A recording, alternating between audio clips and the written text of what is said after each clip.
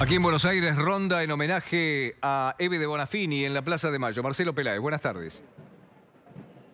Buenas tardes, José Antonio. Se trata de la marcha en homenaje a la lucha de una mujer que por 45 años estuvo aquí presente en esta plaza todos los jueves a las 3 de la tarde. Y así fue como puntualmente a esa hora llegó la combi que traslada a las madres de Plaza de Mayo junto a la familia de Eve de Bonafini. Se abrió la puerta eh, de la reja que circunda la pirámide de Mayo.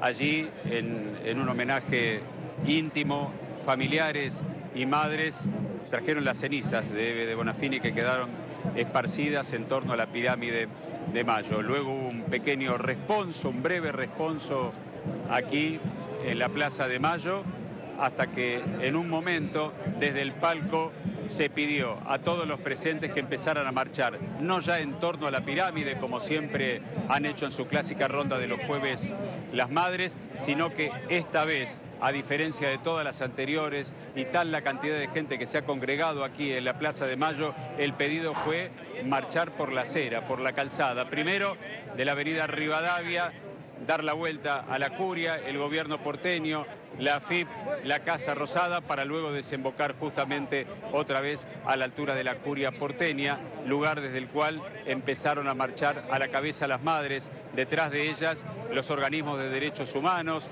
detrás eh, columnas de partidos políticos, eh, afines a la lucha por los derechos humanos, detrás de ellos también columnas eh, de los movimientos sociales enrolados con el gobierno, como el movimiento Evita y Barrios de Pie. Lo cierto es que hay miles de personas aquí a esta hora en la Plaza de Mayo testimoniando su respeto y homenaje a Eve de Bonafé.